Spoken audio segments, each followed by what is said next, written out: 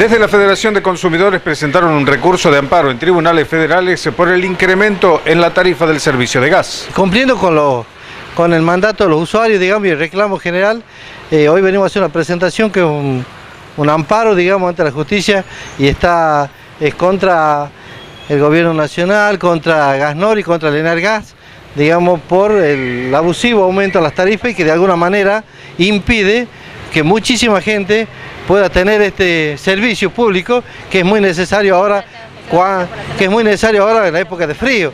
Así que creemos que se han vulnerado los derechos y que la gente pierde calidad de vida y por eso estamos pidiendo con esta medida de amparo que la justicia eh, diga que den una marcha atrás. Están solicitando que la tarifa se retrotraiga a qué mes? Al mes de abril, o sea que se retrotraiga al mes de abril y con los valores que tenía en el segundo bimestre del año 2016. ¿La presentación también establece que devuelvan, digamos, el excedente que cobraron?